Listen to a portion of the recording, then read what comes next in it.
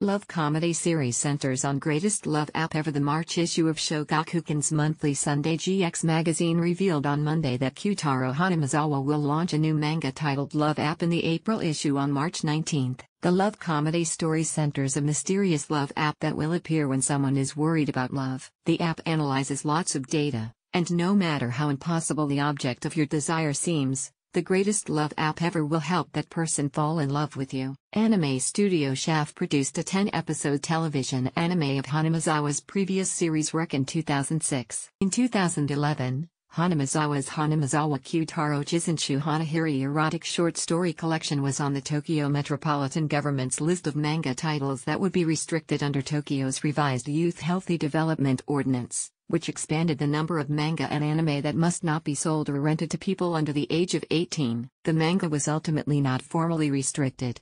Hanamizawa launched the Q manga, pictured at left, in monthly Sunday GX in July 2015, and ended the series last June. Shogakukan published the manga's fourth and final compiled book volume on July 19. Hanamizawa more recently launched a new manga titled Kanojo ga Bikini Armor ni Kigaetara, if she changes into bikini armor, in Shonen Gahosha's monthly Young King OURs GH magazine last May, and Shonen Gahosha published the manga's first compiled volume on December 16. The manga is ongoing.